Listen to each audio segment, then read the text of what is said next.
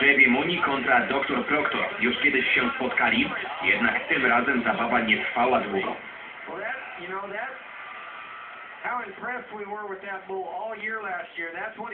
Rok temu zachwycaliśmy się tym bykiem, tym razem znowu bardzo mocno wjeżdżał. Jest niebywale silny, więc zdarza mu się wrzucać kowbojów w efektowny sposób. Po prostu